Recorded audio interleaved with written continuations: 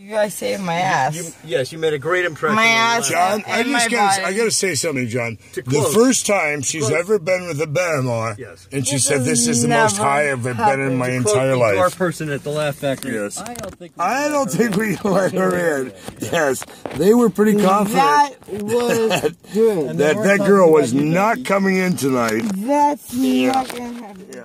She's not coming in tonight. So between the two of you, you've got me thrown out of the Laugh Factory, which I've gone to for 30 Lux years, Hotel. and the Lux Hotel, which I've gone to since it opened. Thank you both. You know what? I've been thrown out of much better places. Yeah. Okay. Whatever.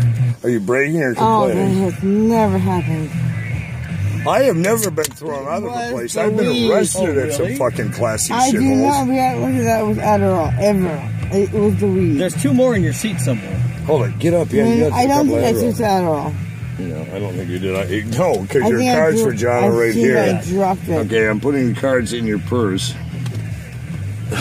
So someday you might remember you Yes, met as a him. grim reminder of the evening. All we right, spent get up for a second, Oh, what am I doing? uh, so I can touch your ass again. not God, you have such Yes, a uh, yeah. nice She's just, see, I now love she's going to associate me with this. Here. John, she wanted you to have a drink of this so you could catch up with her.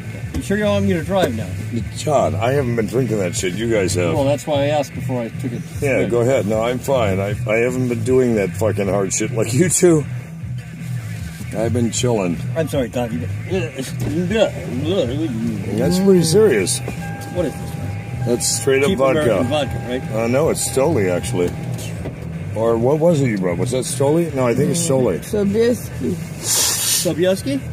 Polish folk. No, oh, it's Polish vodka. No, and I also mix it with Stoli, so it's Russian and Polish. Po- Yeah, you know, yeah. So doubly brutal.